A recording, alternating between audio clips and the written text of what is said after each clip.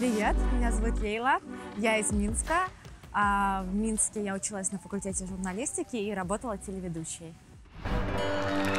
Это Академия талантов, третий курс. И я, Андрей Бонд, представляю вам ведущую нашего шоу Лейла Исмаилова.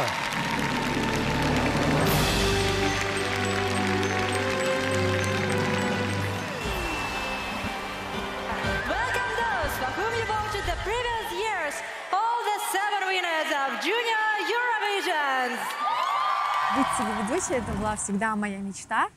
И мне судьба благоволила, очень благоволила. И у меня передо мной раскрывались все двери, и все очень хорошо получалось.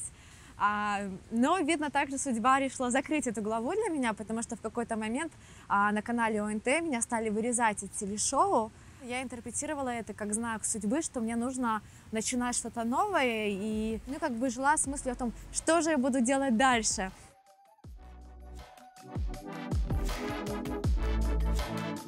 Очень болезненно и сложно переехать в другую страну и понять, что твои достижения с того мира не считаются. И фактически мое белорусское образование, несмотря на то, что я считаю его очень сильным, здесь оно никак не воспринималось. А мне показалось, что мне нужен какой-то социальный статус, который мне поможет быстрее развиваться и расти.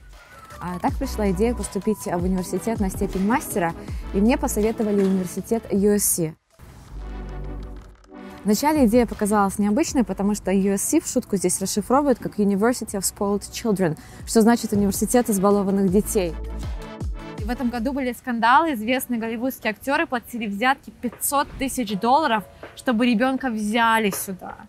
Но тем не менее я решила подать документы, и на свое удивление я не только поступила, но и получила полную стипендию. На самом деле переезд в другую страну – это прекрасная возможность снова обрести себя и открыть новые грани своих способностей.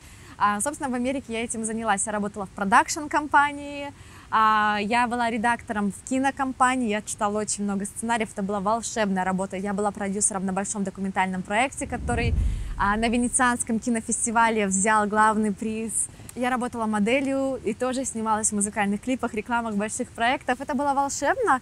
И как бы все это время я жила с мыслью, что же я могу сделать и принести в этот мир. А так появилась идея моей благотворительной организации Pretty Powerful, которая работает с девочками-сиротами в Беларуси. Так появилась идея работать в воскресной школе опять с детьми. И главным таким следующим шагом стала идея детских книг с дополненной реальностью, над которой я сейчас работаю.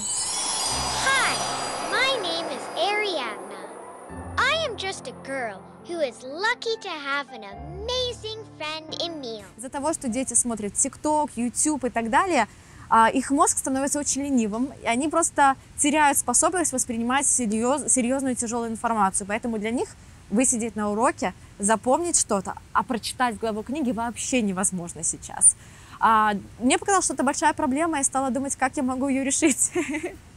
Я поняла, что самое хорошее решение – это соединить книгу с технологией, потому что новое поколение детей рождается с телефонами в руках. Для них это что-то естественное и простое. Дополненная реальность по своему эффекту и визуализации чем-то похожа на голограмму. Фактически а, двухмерная иллюстрация может ожить в пространстве как трехмерная, она может быть интерактивной, с ней можно разговаривать, ее можно трогать, вокруг нее можно ходить. То есть это, это новая технология, которая буквально дополняет реальность.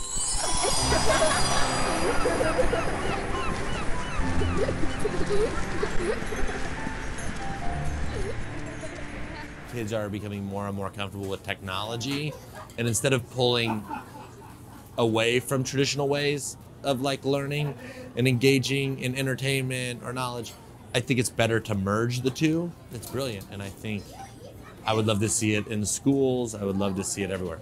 I can just fully say Layla has supported all of my business endeavors. Um, and I think that's what's going to make her succeed more than the fact that she has great ideas, but that she's always there for other people and her heart's always on the line. And that's going to allow her to shine and her businesses as well. Мне эта идея греет душу, потому что, во-первых, она помогает мне реализоваться творчески. Для меня это очень важно. Во-вторых, я делаю продукт для детей. И для меня всегда дети это была та аудитория, которой я не безразлична. Мне всегда хотелось сделать что-то для них и давать им какую-то возможность расти и развиваться. И, наверное, еще одна часть важна в этом проекте, то, что он может быть очень прибыльным. И эта идея мне тоже греет душу, потому что мне бы очень хотелось а, обеспечить себе и моей семье хорошую, красивую жизнь, в которой а, не будет никаких денежных лимитов. И как бы цель в моем бизнесе, конечно, вырастить эту компанию на том уровне, когда каждый ребенок будет хотеть иметь книжку Stardust AR, так же, как мы хотим смотреть диснеевские мультики.